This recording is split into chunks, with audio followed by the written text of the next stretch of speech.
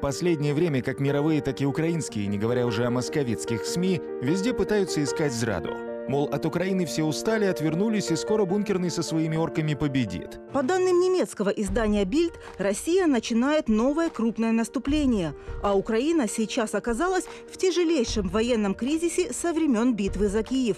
Причина – украинской армии не хватает оружия, солдат, технологий и, самое главное, надежной поддержки от США. Да, проблема с США действительно существует. Политические игры в Палате представителей очень дорого стоят Украине. Но торг, который устроили республиканцы с демократами, касается отнюдь не Украины.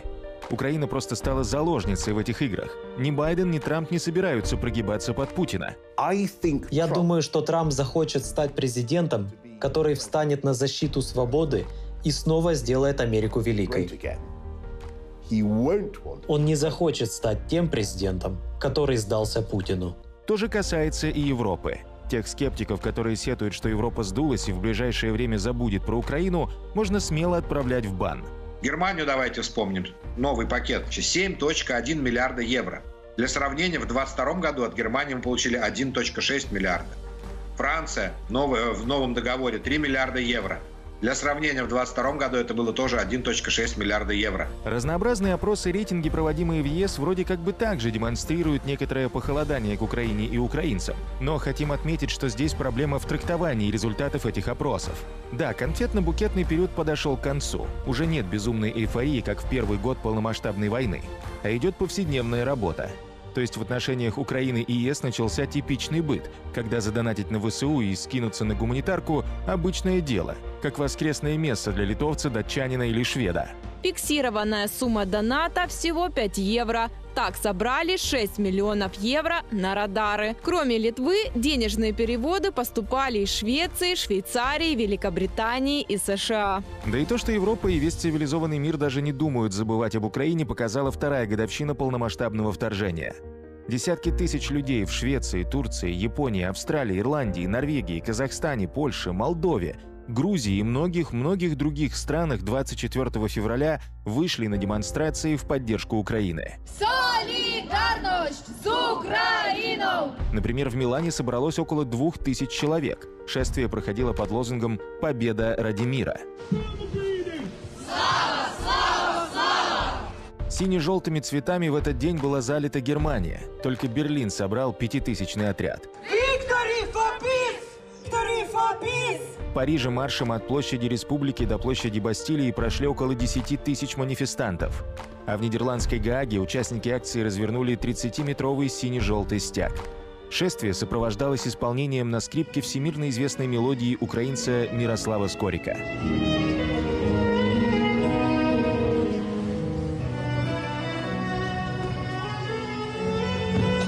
Отдельно стоит выделить Чехию, где на Карловом мосту невозможно было протолкнуться. Митинг посетил даже президент Петр Павел, за что ему огромный респект. Украина имеет право на свое место под солнцем. Россия должна уйти из Украины и позволить ей свободно развиваться так же, как когда-то такую возможность предоставили нам. В общем, как минимум в 400 городах мира на шести континентах прошли митинги памяти и поддержки Украины. Не забывают о многострадальной стране и мировые селебритис. Мы будем поддерживать вас столько, сколько будет нужно. Вы имеете нашу любовь, наше уважение, нашу поддержку и нашу благодарность. Мы поддерживаем Украину. Не сдавайтесь, вы неимоверные люди. Бона, лидер группы Юту на концерте в США, не побрезговал попросить американцев чуть быстрее шевелиться с помощью. Америка, ты такая щедрая, но дай этим людям то, что им нужно. Они борются за нашу свободу, а не только за свою. Род Стюарт в этот день посвятил свой хит «Ритм моего сердца» Украине. А на экране во время исполнения песни демонстрировались кадры трусливой путинской войны.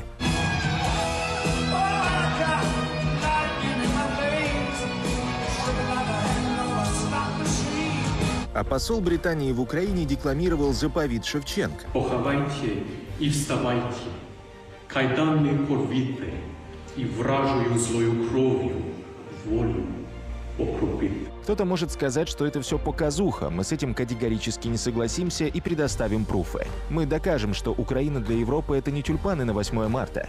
Многие в ЕС выражают свою поддержку постоянно, а не только на какие-то символические даты. И начнем, пожалуй, с той же Чехии. Осень прошлого года. Мы все платим за вас деньги. Почему я должен это терпеть? Вали в свою Украину. В Чешской Острове провели эксперимент. Заступятся ли местные жители за украинку, на которую нападет агрессивный пенсионер? Сначала люди немного недоумевали от такого поведения пенсионера. Мы тут за них платим деньги. Что ты делаешь? Вали в свою Украину. Есть свою Украину. Что ты здесь делаешь? Снимай, снимай это. Но, придя в себя, решили вмешаться. Пожалуйста, успокойтесь, хорошо? Что вы делаете? Оставьте ее. Что вы делаете? Чего вы кричите? Как вы себя ведете? Остановитесь. Идите по своим делам и оставьте ее в покое. Да оставьте ее, черт вас возьми. У них разбомбленная страна, а вы к ней цепляетесь здесь, на остановке. Вы позор Чешской Республики. Перестаньте уже цепляться к людям. Какой позор, я свое отработал. Они получают все свои помощи, а мы за это платим. Я рад, что могу за них платить. У нее больше нет дома и некуда возвращаться. Почему я должен на это смотреть, на эту Украину? Убирайся отсюда. Не приставайте к женщине у меня на глазах. Вы за этих украинцев платите. А вам что с того? Да вы от нее отстанете или нет? Да вы от нее отстанете или нет? Идите отсюда по-хорошему. Я вежливо прошу, что она здесь делает? Почему мы должны за них платить? Мне вызвать полицию, придурок? Это ты назвала меня придурком? Из восьми попыток на защиту украинки стали семь чехов и одна украинка. Показательно? Вполне. И это не единственный случай из Чехии. 39-летнему чешскому инвестору Яну Барту удалось собрать за сутки 2 миллиона долларов на FPV-дроны для Украины за ретвиты своего поста. Мы живем во время все больше напоминающее вторую половину 30-х годов. Я не могу жить с самим собой, зная, что не сделал больше, чтобы остановить еще одного Гитлера. Свете колебаний республиканцев и в память о Навальном за каждый ретвит я буду отдавать по 100 долларов на FPV-дроны для Украины написал Барта в соцсети X. Уже на следующий день Барта сообщил, что нужная сумма собрана. Перемещаемся в страны Балтии. Латвия, Литва и Эстония вообще круглые отличники по теме поддержки Украины. Россия не остановится в Украине, ее можно только остановить. Всем, кто думает, что поддерживать Украину дорого, я хочу сказать просто. Станет еще дороже, если Россию не остановите. И балты предпринимают все усилия для этого. Причем борются они с московской чумой не только военной и гуманитарной помощью Украине, но и собственноручно. Правительство Латвии еще на год до марта будущего года продлило запрет для российских граждан на въезд на территорию страны. А тех, кто уже живет в Латвии и не желает уважать законы и порядок, просят на выход. Проживающие в Латвии граждане России должны подтвердить свое знание латышского языка, чтобы продолжать легально находиться в стране. Латвийский суд сегодня признал это требование соответствующим Конституции Латвии. Жалоба российских граждан была отвергнута. Они, оказывается, еще и жаловались. Но нежелание за десятилетия выучить язык страны, в которой живешь, говорит о многом. В частности, об отношении к жителям этой страны. Ну, за что я буду платить 52 евро, допустим, если я не сдам? У меня вся родня здесь, у меня, ну, все живут здесь. У меня вот куда я вот, если меня вытурнет, куда я вот пойду? При этом русскоязычная молодежь вообще не тяготеет к своей исторической родине. У нас, русскоязычных жителей Латвии, нет таких проблем, для решения которых нам понадобится помощь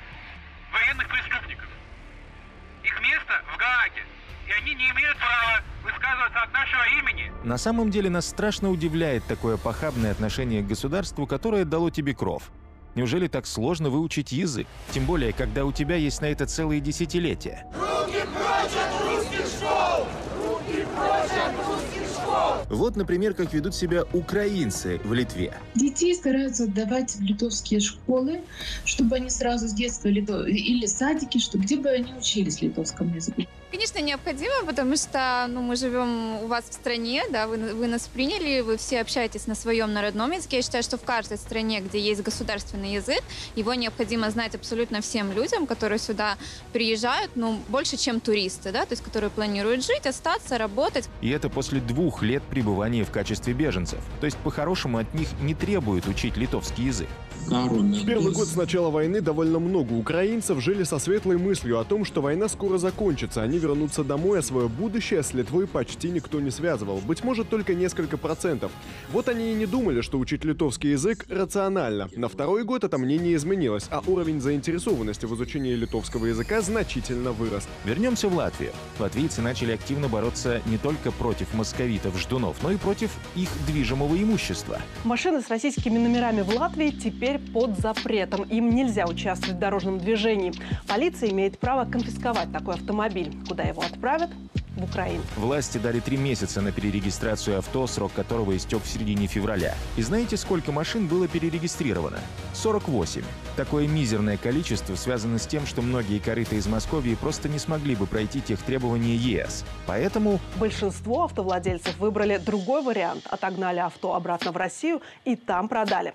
Кто не мог сам вернуться на родину, пользовался услугами посредников. В итоге автомобили с российскими номерами стремительно исчезли с латвийских дорог. Стремительно исчезают из латвийских, да и не только городов, и советские памятники. В Риге снесена 79-метровая стелла, центральный элемент памятника советским солдатам. Это один из четырех монументов благодарности Красной Армии, демонтированных в Польше 27 октября. Демонтаж главного советского памятника начался в Вильнюсе. Такие действия поляков и балтов тронули за живое, если там есть хоть что-то живое, главного деда Мордора. В отличие от наших соседей, которые уничтожают памятники там, героям Великой Отечественной войны, э, это, конечно, потрясающее невежество, но мы, повторяю, живем и действуем совсем по другим принципам и законам, поэтому мы все сохраним. Ну да, ну да. Давайте посмотрим, как в Москве сохраняют мемориалы. В октябре прошлого года во Владимире снесли памятник жертвам советских репрессий. В сентябре в Якутске исчез памятник ссыльным полякам и литовцам – том же сентябре в Ленинградской области был уничтожен памятник финским солдатам. В апреле в Пермском крае был снесен памятник депортированным из Литвы и Польши. Даже памятные таблички срывают. В Москве и Санкт-Петербурге исчезли с фасадов домов более 50 табличек проекта «Последний адрес».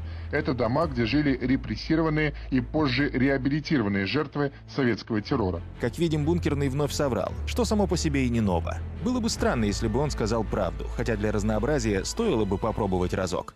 Правда освободит вас! Но вернемся в Латвию. Активно исчезают из латвийских городов и московицкие названия улиц. По словам вице-мэра латвийской столицы, сохранять названия, прямо или косвенно связанные с Россией, в условиях продолжающейся войны в Украине неуместно. Естественно, такой шаг рижских властей взбудоражил великорусских шовинистов на чужбине. А вы, русские, безусловно, будут обижены после э, этого э, символического шага по э, исключению русских названий и, из истории Риги, из, из карты рижской. Безусловно, огромное русское население Латвии чувствует себя обиженным и э, чувствует национальное угнетение. Обижены они, угнетены. Да сопеть в тряпочку и не высовываться – вот о чем вы должны думать. Хотя о чем это мы? Они же неисправимы. Причем подобная риторика – это реально национальная программа недофедерации. Если вы хотите, чтобы ваши молодые люди не задавали вопрос «Зачем мы на Украине?», надо с детства преподавать, что нет никаких Эстонии и Латвии. Их просто не существует. Это историческое недоразумение. Боимся, что скоро задавать вопросы будет некому и негде, потому что в системе образования Московия стремительно скатывается в средние века. В России впервые с начала 20 века число храмов превысило число школ. В 2000 году школ было в три раза больше, чем храмов. Вот так за 24 года Бункерный превратил встающих с колен в секту послушных болванов. Чтобы дети выросли с этой мыслью в голове. И тогда у вас будет поколение, которое в случае чего сможет возвращать свои исторические территории такой тактике скрипоносцев серьезно относятся и в Эстонии. Таллин решил не мелочиться и сразу отрубить секте голову. Эстония предписывает митрополиту Русской Православной Церкви Евгению покинуть страну. Власти решили не продлевать его вид на жительство. Официальная причина – угроза национальной безопасности и поддержка войны. В общем, очередной полковник в рясе. Сегодня предстоятель Эстонской православной церкви Московского патриархата, митрополит Таллинский и всей Эстонии Евгений покинул пределы страны. Он сохранит руководство и продолжит управлять делами митрополии удаленно. Вообще информационная кампания об опасности русского мира набирает обороты. Так, например, в Таллине установили билборды, на которых показали, какой вид бы имели дома, если бы туда пришел русский мир. Плакаты разместили рядом со зданиями, которые изображены на этих плакатах. И эстонцы могут не сомневаться, что именно так и было бы. Достаточно глянуть на Украину, да и ментальность орков очень красноречива даже в практически уничтоженной под ноль Авдеевке. А вон там, смотри, книжный полк есть. А вон там телевизор. Только туда не попадешь. Вот телек стоит. Причем он не поврежденный. Оккупанты высматривают, чем бы поживиться в разрушенных украинских домах. Бля, у них квартиры-то не маленькие, такие. Кроватку, наверное, заберу себе, пиздатая. Орковское нутро просто лезет наружу. Это, походу, уже на генетическом уровне – грабить и мародерить. Также они привыкли срать везде, где только можно. Вот, например, новые бомбоубежища в Белгороде. Просим мы жителей э, не мусорить в них, поддерживать должное санитарное состояние, в том числе не просто бытовой мусор, а, э, так скажем, может быть грубо, но не гадить внутри, чтобы не было не превращалось это все в общественный туалет. Честное слово, какое-то племя Серунов. Начинается бомбежка, а нужно в укрытие бежать. Вот идешь такой, идешь, идешь, оп, а тут насрато, и бутылки валяются. И такое поведение балтов не просто повергает в шок, они могут потерять дар речи. И поэтому неудивительно, что они делают все, чтобы вонючий сапог русского мира никогда больше не ступил на их землю. И всякое, даже минимальное нарушение данного принципа воспринимается очень болезненно. В Литве отменили концерт американской звезды, надевшей худи с российским кораблем. Речь идет об LP. Дело в том, что Лори российские фаны прислали свитшот с российской символикой. Певица опубликовала видео в Инстаграм, где благодарит своих российских фанов, любит и целует их. Реакция литовцев была мгновенной. Тебе лучше направляться в Москву. Тебе не рады в Литве. Серьезно? Два года войны и геноцида в Украине? Пожалуйста, не приезжай в Литву. Один худи будет стоить тебе карьеры в прогрессивной Европе. Моментально отреагировали и организаторы мероприятия на Жальгерис Арена в Каунасе. Концерт отменен. Этим решением мы хотим обратить внимание как ЛП, так и других артистов, которые планируют мероприятие в Литве, что мы не потерпим месседжей в поддержку страны-агрессора. После скандала певица даже извинилась перед украинцами. Я хочу извиниться перед своими друзьями и фанатами в Украине, которых обидел и зацепил мой бездумный пост. Это была серьезная ошибка, мне очень жаль. Я хочу ясно дать понять, что я люблю и поддерживаю Украину и всегда это буду делать. Но для литовцев московский аквафреш на их земле – это табу, и за это им громаднейший респект. Они объективно понимают и знают, что такое морда. Это барак на 140 миллионов рабов, которые не знают, что такое правило, честь и порядок. Они даже своих ближайших братушек, белорусов, ни во что не ставят. Это, например, награждение после минского матча скрипоносных с Беларусью. Московиты проиграли 5-6, обиделись и отказались забирать призы, оставив их на льду. Проигрывать нужно уметь, но откуда им это знать, ведь у раба нет достоинства. И за тарелкой едет Сурин, капитан сборной России. К слову о достоинстве. Перед вами еще один прекрасный пример отсутствия этого самого достоинства. И вместо Данцига появился город Гданьск. Вот Гитлер упрашивал их отдать, Of course. отдать мирно. Отдать Of course.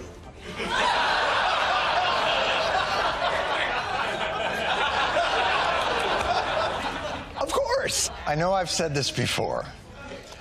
You're such a Для понимания, что такое настоящий интервьюер, Стивен Сакур берет интервью у Василия Небензи. Вы верите в необходимость признавать международное право и те обязательства, которые оно налагает на разные страны, включая вашу? Конечно. So in that case, В таком случае, верите ли вы также в то, что аннексия территорий силовым методом и военная оккупация незаконны с точки зрения международного права? На этих территориях был проведен референдум. Нет, люди... извините, этот референдум никем не воспринимался всерьез. Уверенный в теме происходящего, не присмыкающийся и не ухо, на которое вешают длиннючие спагетти. Интервьюер, задающий конкретные вопросы и приводя примеры. Россия, например, отказывается признать аннексию Восточного Иерусалима и голландских высот Израилем, потому что, как вы говорите, это незаконно с точки зрения международного права. Каким же образом ваша аннексия четырех регионов Украины может считаться законной? therefore be legal? Мы не начинали эту войну. Война началась... Просто ответьте на мой вопрос. Война началась в 2014 году, когда Господин Украина, Поспред. киевский режим начал контртеррористическую Вы операцию в знаете, что это не может быть законным. Бомбили 8 лет. Просто ответьте на вопрос. Эти сопли про 8 лет бомбили Бомбас уже давно никому не интересны. И никаких, конечно. Of course. И никаких тебе... Твари вы конченые. Но подобное оскорбление вечернего мудозвона и ему подобных — это ведь неспроста. Дело в том, что недофедерацию перестают бояться даже те, кому, по мнению того же Соловьева, не велено даже дышать в сторону Мордора.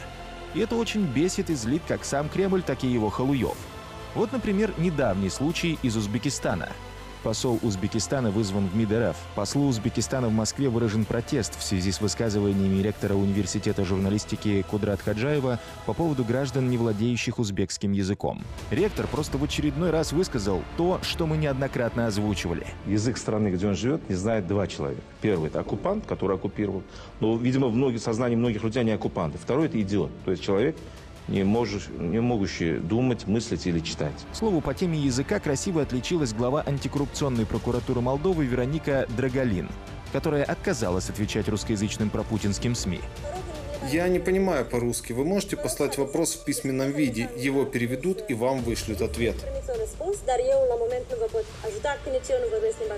Браво! А закончить сегодняшний выпуск мы хотим эмоциональной речью белоруски, которая высказалась о так называемом Дне защитника Отечества Беларуси. У меня только одно питание до наших військових белорусских. Какие вы нахрен защитники Отечества? Я сегодня в Украине, у меня уже за сегодня было два концерта для наших воинов, украинских героев. Я стояла на сцене и вибачалась за вас, горе вы військовці, вибачалась за свою країну. Які ви нахрен військовці, коли вы не можете оборонить свою батьківщину от почвары лукашенковской. Вы не можете оборонить свой народ от катований и пыток. Мне соромно за вас. И я тут во Украине доказываю всем, что белорусы это не Лукашенко. Чому я, дзяўчынка, павінна гэта рабіць? Я хочу песні просто спяваць, оперу спяваць. Ганьба!